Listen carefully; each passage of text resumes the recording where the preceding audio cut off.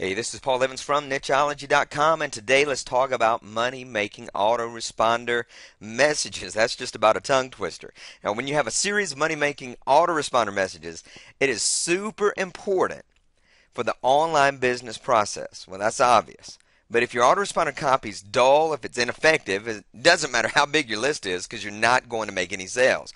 That's why it's critical that you understand how to write good copy before you get started. So after you sign up for your autoresponder account, you want to load it with messages that will gain people's trust and help you make sales. So in part one, we're going to cover four avenues for doing that, and then we'll cover four more in part two. So let's get started. Number one, you need to understand the difference between follow up and broadcast messages. Now, if you're brand new, you may not know the difference. And it's really simple. A follow up message are what the members of your list receive no matter when they sign up. This will usually be in a sequence that is delivered at a predetermined rate. For example, if Sally signs up on Tuesday, she'll receive follow up message number one on Tuesday. If Tom signs up on Friday, he'll get that very same message, message number one, on Friday. And that means your autoresponder sequence is your little relationship builder and salesperson 24 hours a day, 7 days a week, 365 days a year because your follow up message are automated. Now, your broadcast messages. Now, these type are sent out to your entire list and they receive them at the same time. Sometimes it's called an email blast. And it's a great option if you have something to share that is not a normal part of the sequence. It might be a special announcement or a time sensitive or limited offer, a special deal, something like that.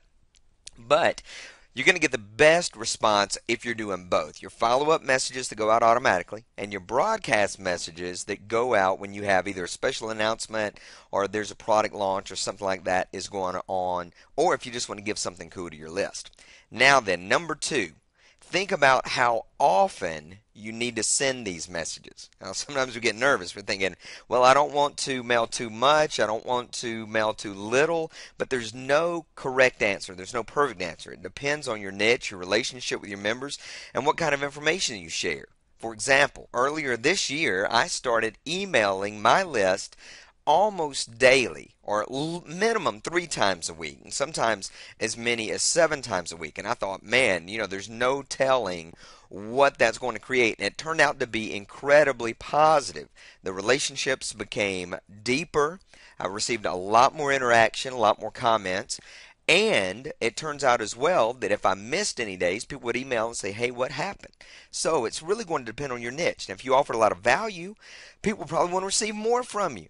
If you do nothing but make sales and that's it, you just pitch stuff, then most likely they don't want to hear from you as often. But you have to email regularly and contact regularly if you want to build any sort of relationship. So Good Autoresponder will show you the number of people who click your message. It will also show you which messages were read the most. That way you can see the subject lines and the material that people responded to best.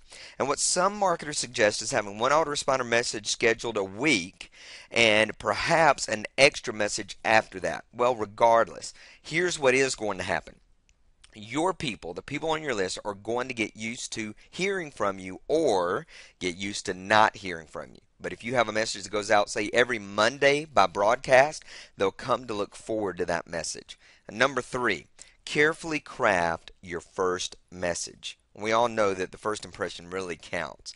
That's when you need to carefully write out your first autoresponder message. It's going to be the first impression that at this moment these strangers will have of you even if they really liked your website, they can unsubscribe real quick if they don't think you're going to offer anything of value. So your first message should almost never contain a sales pitch. This is your chance to prove that they want to remain on your list. You want to be warm, open, friendly. You want to consider offering a special bonus or a free surprise. Tell a little bit about your background and not from an arrogant way, but what gives you a right to confiscate their time and attention. Don't brag, but simply say, I'm someone that's worth listening to for these reasons. Maybe give a little bit of your background, but you want to put the relationship on the right path from the very beginning. And that way, when sales do come along, they'll most likely go ahead and trust your presentation rather than doubting your presentation. And then number four for today, decide when to make your first sales pitch. Some marketers focus on making the sale right away, and others focus on holding off for a few messages in sequence. Who knows? There is no perfect answer.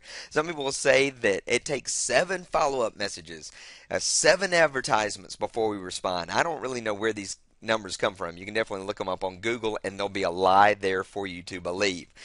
But when do people buy? Well, when there's a need, when they trust you, there's a bunch of different reasons. The key is to continue communicating so that when they're ready or there's a matching offer, you happen to be there. So when your members first sign up, give away some valuable information and then make your first sales pitch, not in any scientific way, but when it fits the messages that you've already presented, when there's something special that comes along that you believe matches this market, but don't get too scientific. There's no perfect formula. Instead, use this serve your market. Don't think, well, I'm going to give four messages and then I'm going to make a pitch and then they're going to buy. But instead, think constantly about relationship, about service, about value. And then you can pitch as early and as often as possible as long as you are doing them a favor. And then you're not just trying to get them to make you money.